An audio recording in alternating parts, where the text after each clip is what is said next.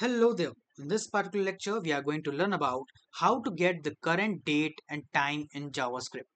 Well, it is a very easy topic as you can generate a current date and time using the date function automatically.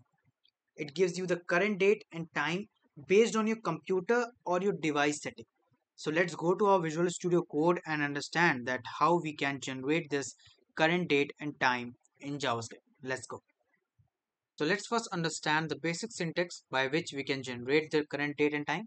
For that, we just need to write a variable first, right? And then inside of this, you need to write the new keyword and then the date function. This date function is your inbuilt function in JavaScript, so you need not to define it at your own. You just simply need to use it, right? Yeah.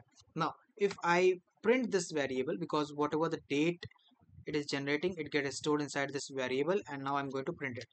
For that console.log and then the now inside of it. Now let's go to our console and you can see that I'm getting a very detailed information about the time and the date right? So it is first showing me what it is first showing me the weekday and then the month the date the year the time and this is showing me the standard that is Indian time standard right? So by this you can get the whole information about the time and the date. Now there are few more things which you need to understand is that first that if you want to get only the current date because you are getting a very long data right here. So if I want that show me the date only. Fine. So for that what we need to do is that let's go let's create the console.log and inside this I will write now. Now after calling the variable after calling the variable you simply need to write put a dot here and then you need to write to date string and put the bracket here.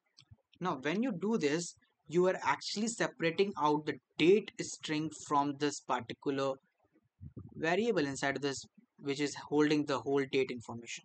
Now you are separating out the date string. Let's go to our console and check. As you can see here now i'm getting the date. That is the weekday the month the date and the year.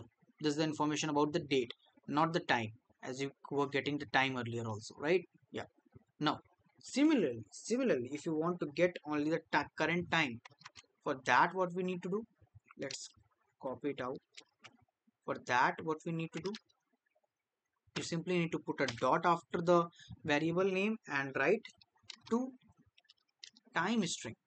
Similarly like the above for generating date we were using date string and for generating time we are using to time string right? Now let's comment this also.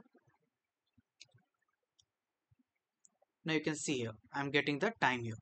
And also with the standard that which standard is falling for uh, so this is your time right?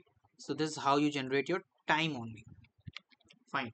I hope you understood it right. Now if there are lot more uh, methods which you can use with your date function right? So let's call all the function at once. Sorry. Okay.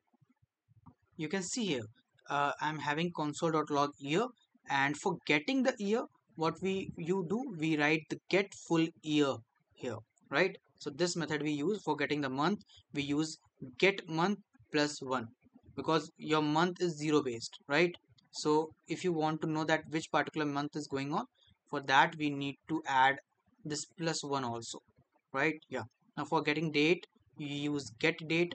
For getting hour we use get hours. For getting minutes get minutes. For second we use get seconds right? This was generating the date string which was holding all the information like month weekday also. But for getting only date we use the get date function right? Now let's go to our console and check. Mm, where is my console? Yeah. As you can see here i'm getting all the information separately by using simple date function and using the methods for it right? So i hope you understood the concept very clearly. This was all for today's video i hope you get it. If you did then make sure that you like the video and subscribe the channel. Thank you so much for watching.